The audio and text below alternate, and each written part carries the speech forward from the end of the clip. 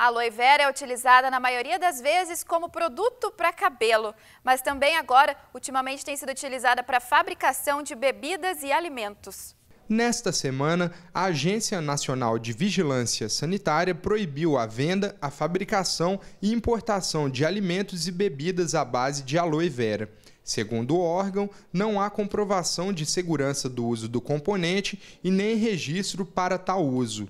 Popularmente conhecida como babosa, a aloe vera possui um líquido viscoso e macio, com uma substância gelatinosa que pode ser extraída e incorporada em vários produtos. Usada há muitos anos para fins medicinais, essa planta tem capacidade cicatrizante e reidratante capilar ou dérmico.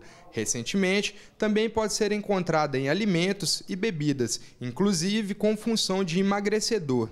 Existem sucos à base da planta e seus revendedores costumam falar sobre seus possíveis efeitos benéficos, como a redução dos níveis de glicose no sangue.